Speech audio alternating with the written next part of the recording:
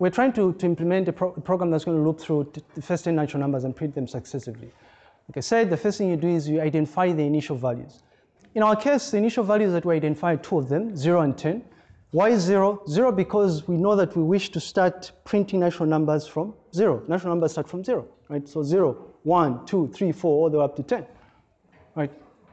The other initial value that we wish to work with is 10. Why 10? Because 10 is the last natural number that we wish to process.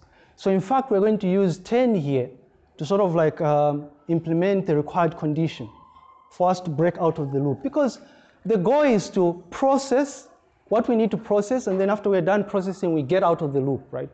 We continue executing instructions that fall afterwards. Right, so step number two is we identify the conditions, right? Our condition is pretty simple because we know that we want to print 0, 1, 2, 3, all the way up to 10. We know that we want to break out, break out of the loop when the natural number, the, the value of the natural number is greater than 10 right? So you notice here that line number 10, we've implemented our condition. This is BGT. Uh, whatever is going to be in register number 8, uh, compare it against compare it against what is in register 9. What is in register 9 is 10 here. So the first time you execute in the loop, you notice here, the value of 8 is going to be 0, right? So it will be like BGT 0, 10.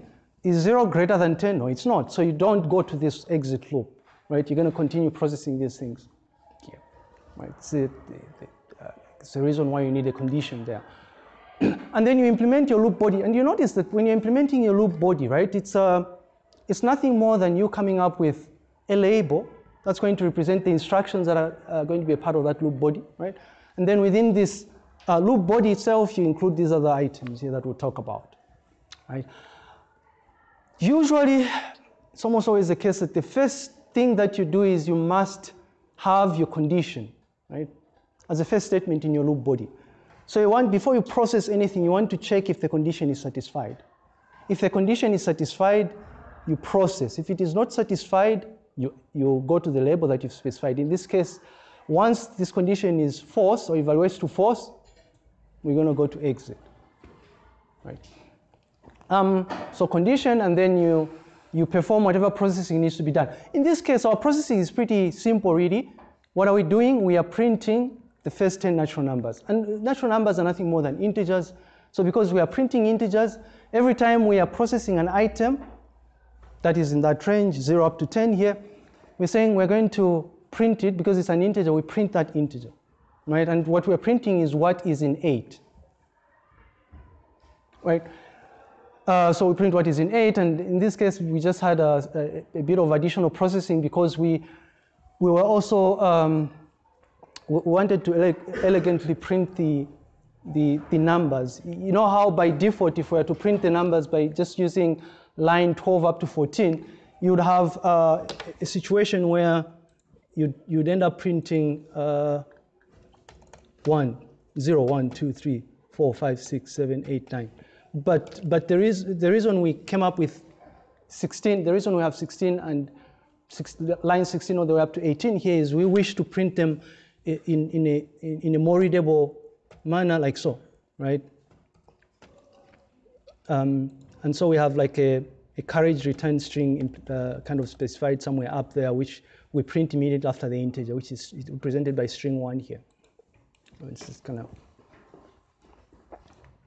processing, right? Walk through the code if you wish to. And then more importantly, right, you must modify the initial value so that you process the next item in the list. In this case, modifying it is just as simple as figuring out or coming up with an instruction that is going to enable you process the next natural number. We know that the next natural number is one value more than the previous right? So when you're processing zero, the next natural number is one. The next natural number after that is two, three, four. So you notice that all you're doing uh, is modifying the, the initial value in such a way as add one to what's in register eight. So initially you have zero. Once you add one to zero, you'll be working with one. Once you add one to one, you'll be working with two. Once you add one to two, you'll be working with three. All the way up to when you get to a stage where uh, after processing 10, you add one to 10, you will have 11. Observe, when you, when you have, you come here, you have 11, you say B loop, you come here, BGT is 11 greater than 10? The answer is yes, at which point you exit, you go here, and then you'll have converged, you exit the loop, right? Um, I don't know if this is making sense. Um, so I deliberately included step number four here as part of the bullet points because uh, I guess trying to exemplify what happens here. Uh, so modifying the values is quite easy. Uh, I have, I think, about three examples here to showcase how you go about modifying the values, right? Um, to ensure that you continue iterating and then eventually converge. What would happen if we didn't have, if we don't modify the values here? Do you notice what would happen? Yes?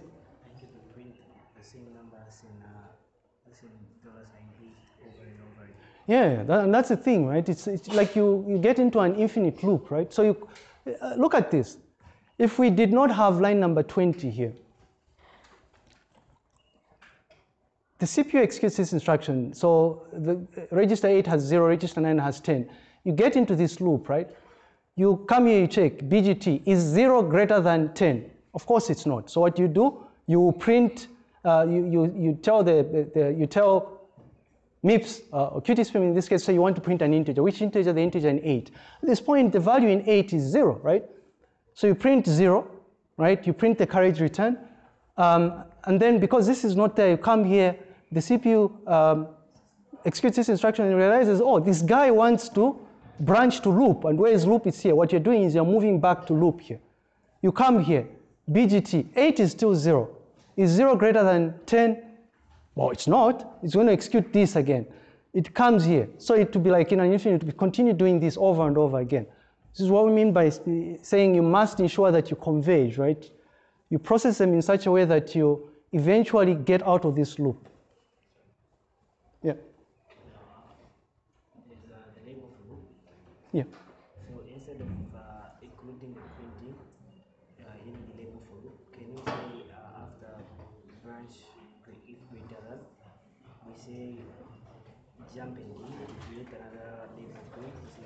Yeah, so the jump and link, that would be like a procedure. Yeah, yeah that, that, would, that would be something to do. back to our discussion um, of procedures is immediately after this. So that's, that's another, another way of doing this. So you, you just implement like a procedure that would do your printing for you. Is that what you're suggesting, right? Yeah, that's another way of implementing. Yes, sir.